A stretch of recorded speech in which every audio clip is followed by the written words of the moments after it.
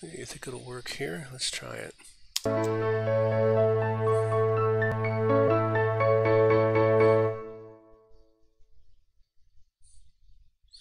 Alrighty. Ladies and gentlemen, this is a recap of Composing in Full Media Part 43 Cycles.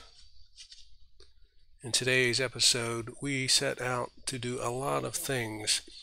Uh, we started with the idea of extending the idea of a nomograph or nomogram to composing and what might that look like. And a nomogram is a diagram that represents the relations between variables. And you've seen that if you've ever seen a weather map, there, uh, there those isobar lines are, are related to that. So we went ahead and started a new poster, a placard. And you remember in one of our earlier streams, we came up with doing this one, hybrid tech, using multiple kinds of tools together. Then we did not show it, but we repackaged a lot of the material from here and created this version. And this one is up to be presented in a week or two. And then we've already got another thing lining up where we want to add this whole idea of the nomogram, nomograph. And the idea of that is, the idea of that is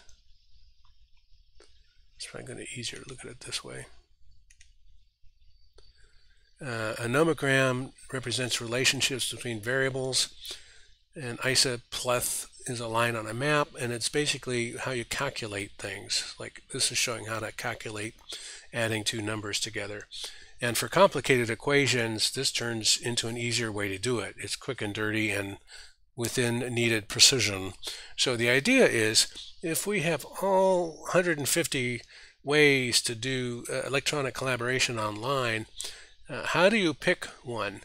Uh, and this is the kind of decision flow chart you have to go through to get there. Is there a way to represent these two things in some kind of simplified nomogram version? That's kind of the idea behind this uh, slide in progress. So we got that done.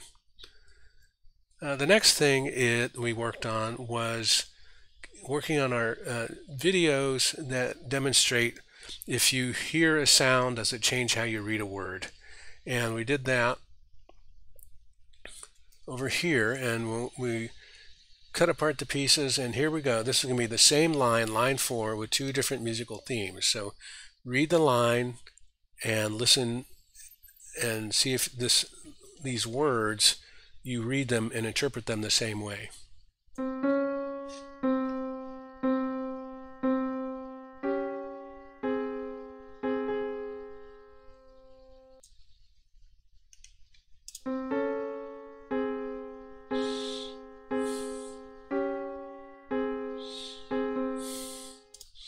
So we would say one feels maybe more ominous or ambiguous, one feels more ambiguous promising. So, and that's the same words, just different uh, melody line going underneath it. So we got that done. The next thing we wanted to do was work on the standalone hymn, as we call it, and record a new flying animation, and we did that. Um, this is what it looks like now. We're actually playing all three lines. There's a backbone and a lyric and an arpeggio. And we also learned how to make it so that this, uh, the text line for the lyric stands out clearly. So we'll play this for a little bit.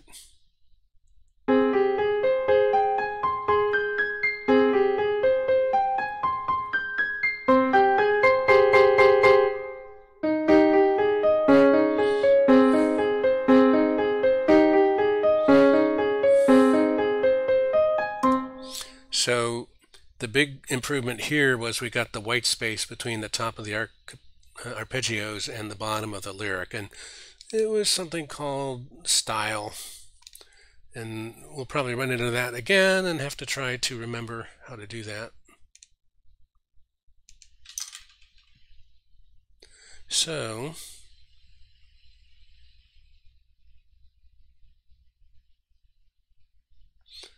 quick, well, we are supposed to be doing thing. The final thing we did was reviewed our themes and arpeggios in C3443R and we were making this animation using the star field. And we added a intro section and we added a fade in and fade out to black. And this is what the ending uh, well the beginning comes in at.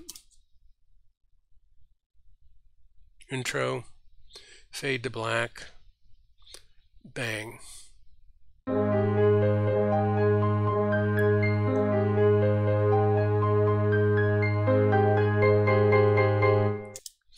So a lot of work done. Uh, ideas for next time are to post and share some of those videos. Uh, we have an idea for to tweak this one a little bit more at the end. And the main thing is to continue ideas. Uh, we feel like we're getting ready to move to a new series here. Um, not quite, don't fear. Uh, and the series would be kind of oriented around the nomogram or that, that new theme and meme. Uh, however, we have a few rows to hoe before we get there, including what we're thinking of combining some of the compositions into an overall suite that would look something like that. So thank you for your time and attention, curiosity and interest. We look forward to seeing you in the next episode. Do come back, and as always, keep on streaming.